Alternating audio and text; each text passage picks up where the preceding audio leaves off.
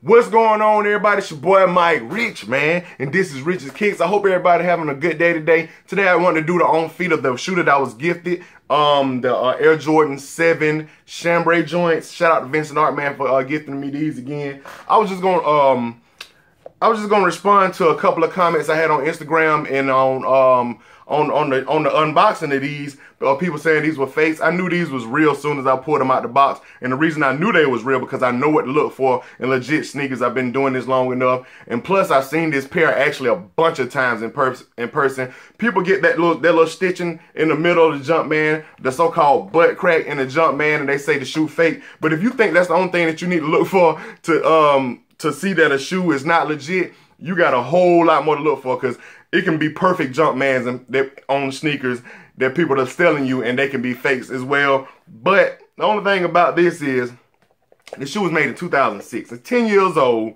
It had different stitch. They had different. They made these in different uh, warehouses. They had different molding for the shoe. Had different paint on the shoe. Different machines made these sneakers. So if this, this little, I'm gonna show y'all what they talking about.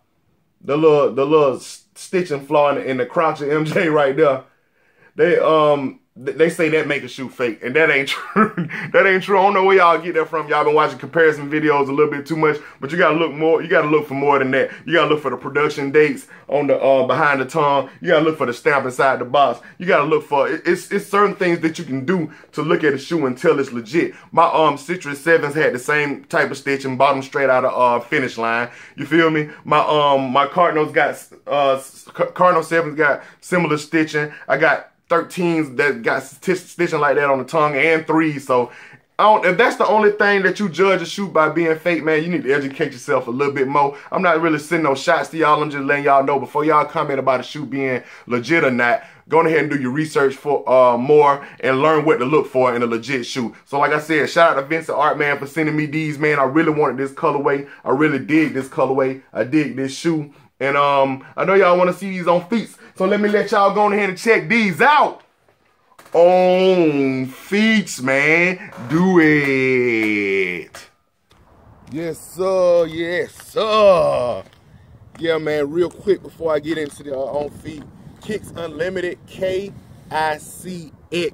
Unlimited in Sacramento, man. That's the shop um, that they got up there in Sacramento where these probably where these came from and y'all check them out. If you're in that area dope people man. They they do legit they do legit uh checks on all these sneakers before they get them in. So they always a1 that's why i ain't worried about buying it.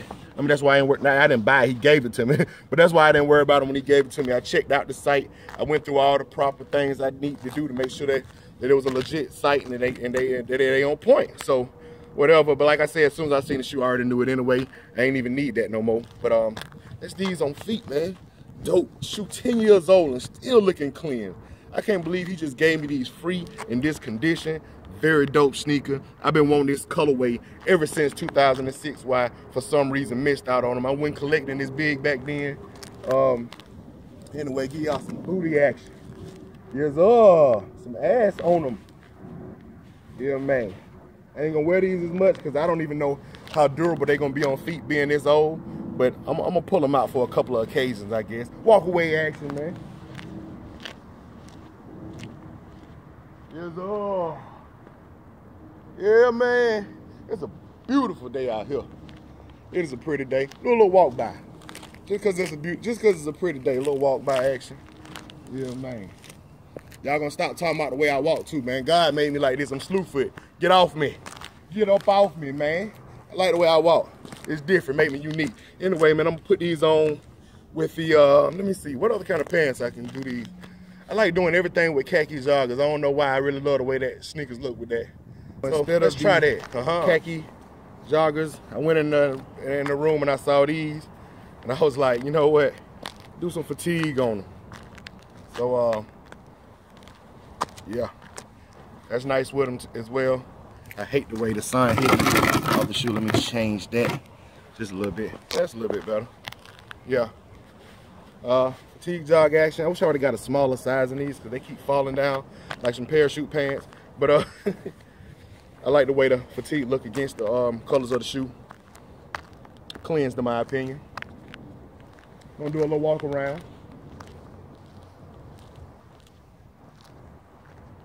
Bet y'all be thinking my neighbors think I'm crazy out here. Don't nobody be outside though. I'm literally out here by myself. But uh, that's it with these. We want to do it real quick. Quick view on feet of one of my, I ain't even call this one of my grails, but I really like this shoe. So you can consider it that because I've been kind of hunting it down for a while and it just hopped in my lap. Didn't even have to spend no money on them. So I don't know. I really love these. A lot of people say they're bland colorway, but hey, I like what I like, man. So let's do a quick round view on these chambray sevens on feet. Yes, sir. Dope sneaker. I'm digging. I don't know when I'm gonna wear these because, like I said, they're 10 years old and they don't tell telling if or when they're gonna retro these again. Usually, usually, soon as soon as I get a shoe, they retro them. That's how they did the Bordeaux. I bought the Bordeaux in, um, on eBay in 2000. Um, when I first did my channel, 2014, and they came out in 2015. I was like, really? And they in OG form. Like everybody know that I like the 2015s better because they came, they more the OG. Um, the materials on 2015 can be argued that they better. I mean, on the 2011, but the 2015 is just they made it. They made how they was made back in the day. So uh, it is what it is to me. I, I mean, I don't know. That's my preference. Anyway, I hope y'all enjoyed this video. I really hope y'all enjoyed it. Thank y'all for 70,000. I keep saying that, but I just really appreciate it. Um, and let's keep growing, y'all. Hit that thumbs up, like, subscribe, all that good stuff. Follow me on Instagram and Twitter. I'm going to put that right behind this vid. And keep watching my videos because y'all know that's what I'm here for. Gone.